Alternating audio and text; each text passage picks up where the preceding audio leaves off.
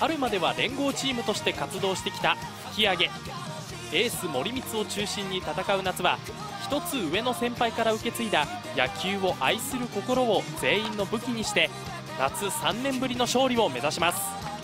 1年生が入部してくれて夏の大会は吹き上げ単独で出場することができるので自分たちのモットーであるエンジョイベースボールをもとにみんなで野球を楽しみながら